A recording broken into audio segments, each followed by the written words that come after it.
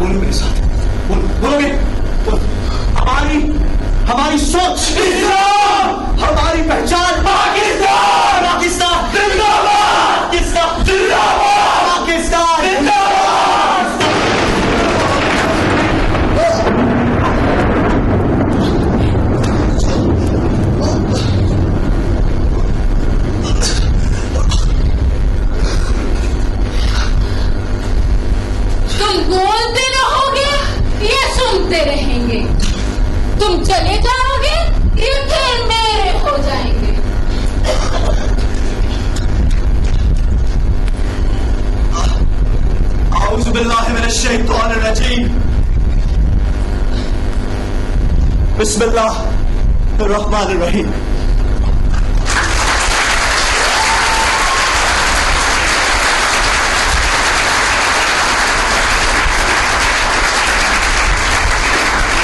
शुरू करता हूँ अल्लाह के नाम से इनकलाब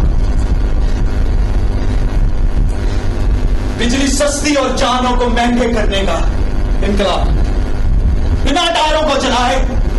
इनकलाब बीसियों तीसियों, चालीसों साल हुकूमत के अंदर बैठ कर ईमानदारी से काम करने का इनकलाब। इनकलाब। इनकलाब!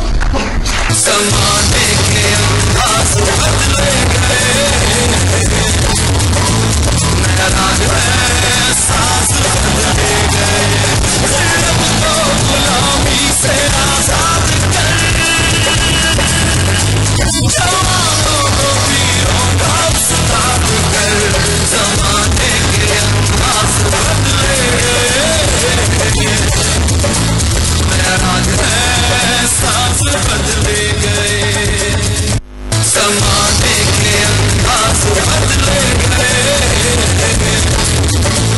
महराज में सांस बदले गए रब को गुलामी से आज़ाद कर Thank you. जवानों को वीरों का उस्ताद कर जमाने के अंदाज बदले गए thank you thank you I was thank you शुक्रिया।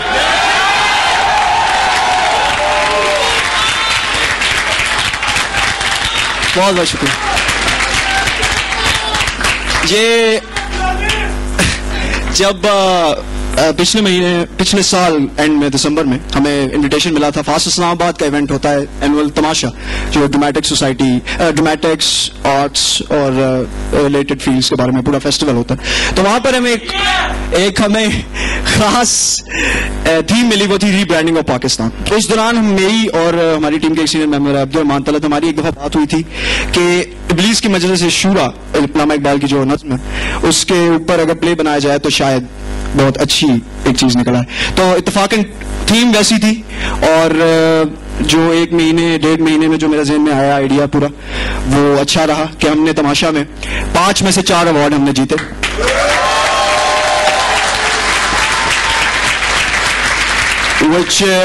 which included uh, best play, best team, best actor, best supporting actor. उसके बाद हमारा एक ही मकसद था वो ये था कि आखिरी दफ़ा इसको अपने भाइयों अपने साथियों के साथ इसके सामने करें फास्ट के अपने स्टेज पे करें। और आज वो ख्वाब पूरा हुआ और मैं बहुत बहुत शुक्रिया अदा करता हूँ आप सबका आप लोगों ने पसंद किया। अ, मैं लोगों का पहले मैं कास्ट का एक ब्रीफ आपको इंट्रोडक्शन करवा दूँ। सबसे पहले क्रू कहाँ है? क्रू हाँ जी। हैदराबाद साउंड्स में जी। मोहम्मद उस्मान स्पॉटलाइट पे। हाँ जी, एहतसाम जावेद लाइट्स पे।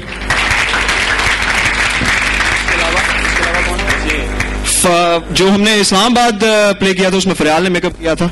इस दफ़ा हमारा जो मेकअप था, वो फुली स्पॉन्सर्ड था कुछ सिया स्प्लेंडर का, जो है टाउन में बहुत मेकअप अच्छा होगी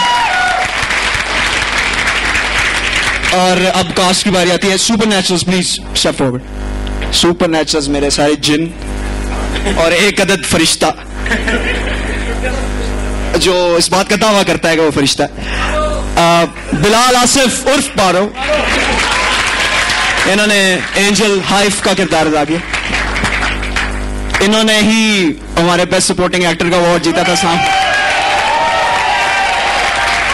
जीशान दुरानी के भी मैं बिग हैंड और जो सपोर्टिंग एक्टर की जो नॉमिनेशन थी, उसमें हमारा दो बंदे हमारे ही प्ले के थे, जो नॉमिनेट हुए थे जिशान दुरानी और सभी गोहीर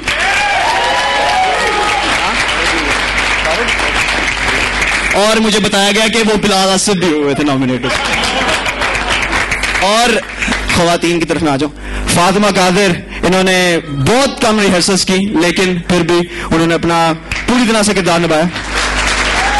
और कई लोग कहते थे कि यार तू you can you can not make Satan female I tried and I guess it work this this was her first performance her debut performance Rida Malhi अब जरा इंसान आ जाए जरा सामने। आ, मैं साथ साथ अब इसमें कुछ ऐसे भी लोग आ गए जो हमारी एग्जेक्टिव टीम का हिस्सा उनका भी साथ साथ मैं तारुफ कराता जो आ, इन जनाब ने ना सिर्फ़ पूरे प्ले की प्रोडक्शन का काम किया बल्कि ही also handle the entire security system that we had right now और उन्होंने एंड में प्ले भी किया बिलाल अवान। और अभी तक हमारी कास्ट में जो सीनियर एक्ट्रेसेस हैं उनमें से एक आमना मलिक इन्होंने दो रोल्स अदा किए।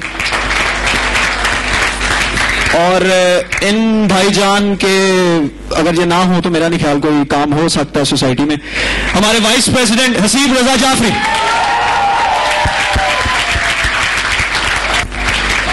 रिदा की तरह इनका भी पहली डेब्यू परफॉर्मेंस थी अली राना और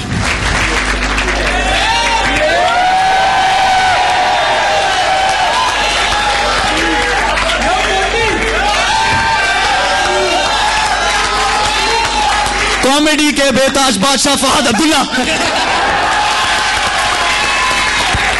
और और अमार ने भी बिलाल की तरह पब्लिसिटी प्रोडक्शन इन सब का जो मैनुअल काम थे जो बहुत खबाई वाले काम थे उन्होंने साथ साथ किया और एंड में प्ले भी किया। अमार गौस के लिए ताली।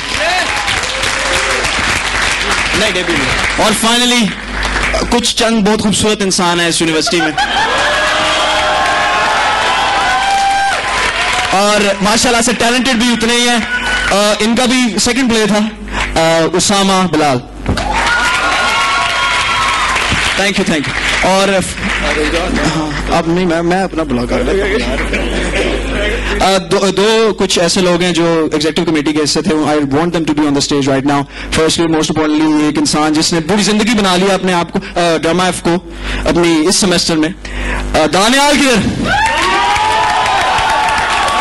Our treasurer, Daniel Raza.